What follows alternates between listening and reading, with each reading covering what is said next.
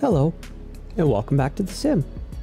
In this one, we're going to look at using the Bravo throttle quadrant with the fly-by-wire A320.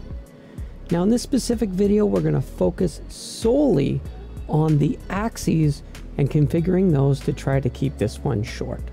When we up SPAD.neXt, you'll notice I'm on 09.12.26 and I am running the dev version of the fly-by-wire. Now I've labeled mine 0.7.4 dev, uh, but that's just because the current stable version is 0.7.4 and I have the current dev version as of today, March 22nd, 2022.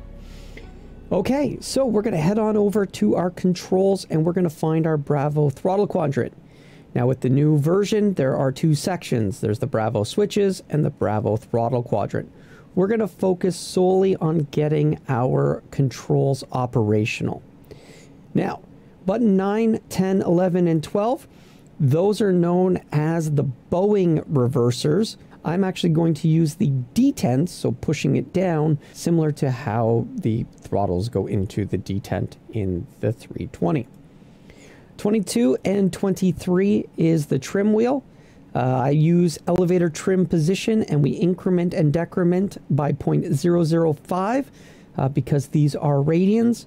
Uh, now this is fly-by-wire, so maybe doesn't matter, but I always leave those on my Bravo. 25, that is, so 24 is the first axis detent. So you see that come on when you go all the way down. We're not using it. 25 is the second axis, which we have nothing mapped to it.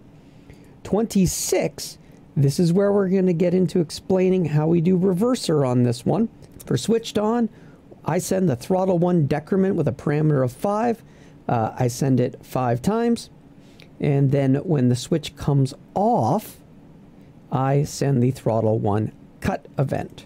Really, it's just a bunch of copy and paste, uh, though you can't really copy and paste. So it's do it, execute, put in a pause, do it, pause, do it.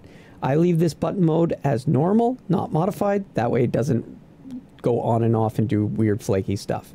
Okay. Throttle one cut, simple event. Done. That's all we're going to do. You're going to see on 27, we do the same for throttle number two, the decrements and the cut. 28, that's the bottom of this uh, axis. Nothing's assigned, so nothing there. On button 29, I still have the auto throttle toga event. Obviously, that doesn't matter in this plane. Uh, you'll probably want to remap it. I haven't gotten to that part yet. I wanted to focus on the axes, the throttles, and keep this one short. So you see nothing else is assigned. Spoilers is where we're going to start off and do something special. Because we want the spoilers to be able to arm, turn the arm off, and control the range, uh, we've assigned three events. The first two, I went with a scripted event, which is mapped to the axis. So to do this, we went to add event, scripted event, and then we added our condition and added our actions. So looking at this one, you'll see that the condition was to find our local devices, our Bravo throttle quadrant, and this is our y-axis. And these are going to show you 0 to 100 when we're using these values. So I set it so that when it is greater than 95, and I made this the higher priority, but when this is 95, it is going to set the spoilers to zero. So it's going to make sure they're in the zero slot. It's going to wait 100 milliseconds, and then it's going to send the spoilers arm event. Now, I've made this successfully work every time. Uh, so this seems to be the good combination of events. Seems like if you try to just do the arm on off, if I didn't set the spoiler, sometimes it didn't take. So we've gone with this. Seems to work like a charm. So here I've decided when I move it back just a little bit off the top, so it'll be less than 94, but higher than 85. We're going to send the spoilers arm off event wait 100 milliseconds, and we're still going to set the spoilers to zero. So keep them on the zero. Set it to a priority of nine, so it falls below this guy. And then finally, we set up our axis. And so what we did was we moved to the position that would be past the 94, 95, and I intentionally did about 200 uh, because this is 0 to 1023. Uh, that gives us actually a gap. There's the other one's probably about here, where it goes to the spoilers armed off, and then here's when we start moving it. So I chose 200 to 1023, and so that would be fully extended. Again, we don't use the detent. And then we're rescaling the value to the range of the axis, minus 16,383 to 16,384. Our target is axis spoiler set, and we're using the axis value. Raw rescaled is on, and we've inverted the axis so that it can go low to high.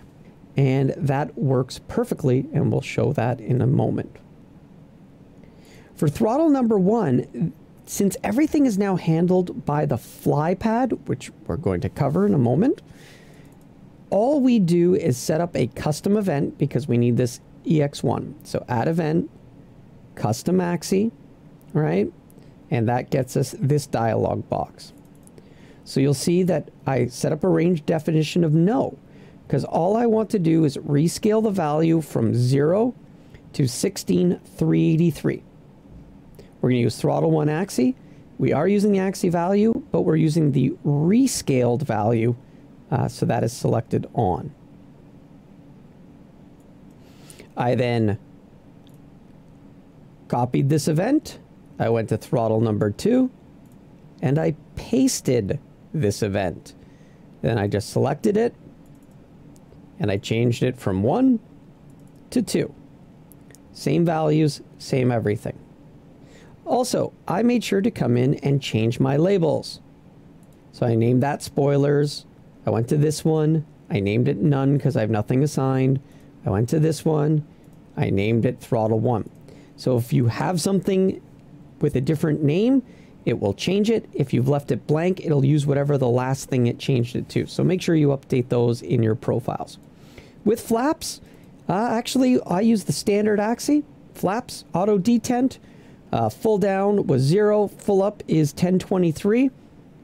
And away we go. I just moved it, hit my full up, hit my full down, clicked OK. Now that we've set this up the way we need it, let's jump back into the sim and show you how we then map it to the fly-by-wire. So now that we're looking at the pedestal, we're going to go ahead and we're going to just review real quick the first two things that we don't have to touch the iPad uh, with at all, or the FlyPad. So that spoiler axis that we had set up, as you can see, as soon as we move it into this position, it moves it up. And it's just off the end stop. But as soon as it moves to the end stop, it sends that event and it arms the speed brake for us. So then we come just back off of it and it goes into the disarmed, but still flaps retracted. And then as we move further down, we've got our separate positions. And we intentionally left that extra gap so that it will get to zero in this whole area without putting the spoilers into that arm position. You have to get all the way up there. And then as mentioned, with the Bravo, on the right-hand side of the rightmost axis, you're going to find the 0, 1, 2, 3, and 4.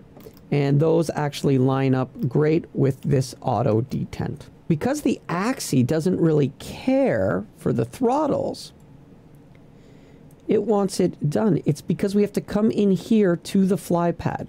So when we're in the FlyPad, we come to settings. We're going to come to aircraft configuration. Sorry, come to sim options. And we're going to go in and calibrate. Now, I intentionally left reverser on axis enabled. And by doing that, the fly-by-wire actually thinks the axis is full from minus 16,383 all the way up to 16,384. And that's why right now, even with my throttles at idle on the Bravo, it shows it right here in the middle. And that's okay because we're going to leverage the FlyPad to assign everything. When we move down into the detent, it sent those five decrease events. So as you can see here, it has come down. And so we came to reverse full and we set this here at minus 28. Then what I did was I took it out of the detent and we went to reverse idle. And what you'll see is that we're actually at zero right here. The reverse idle intentionally putting it just at 0.002. And so you can also edit these values, the value to 0.002 for the end and the start. And that way it does come out of reverse idle when we pop it back up since we don't actually have a full reverser axis. The key was on idle. And again, you can come in and you can edit these. So I wanted these at zero and zero because this comes down and perfect. It's right at zero. I moved my throttles up to where I wanted the climb detent to be. And I just aligned those with the line on the axis. And again, a similar type thing. This is roughly where I wanted to be, so I gave it a little bit above and a little bit of a below to give it a bit of a dead zone. Now you can make this bigger or smaller depending on how you feel you want your ranges. When we go to our flex, you'll notice I set those a little bit higher. So again, there's a bit of a dead zone when I come up, but we hear the click, so we know we're into flex. And then finally for toga, we put it all the way to the top and again, you can edit these values yourself with a configuration and an end stop. So once we were done with that, it was all nice and simple to hit save and apply. So when we look at our two throttles here, we're in the idle position at the bottom, so where the detent is, so the gate stops us, and that is matching to idle in the fly-by-wire as we bring it up and we come up to roughly where we wanted, nicely in the climb, and I went with these two uh, kind of top detent spots. Then I chose just a little bit further up. That felt about right for our flex, and then all the way goes up into toga. Click, full control, and then when we go down, you see it does those two steps, gets us into full reverse, and when we come off of the switch, it cuts it back to idle. That's it. That's all it takes to get your axes set up with the fly-by-wire and SPAD.next. And it's the cleanest way to do it, especially after all the changes they made with the FlyPad. If you guys go ahead, hit that like button, subscribe if you haven't, come along next time. As always, thanks for watching. Have a great day.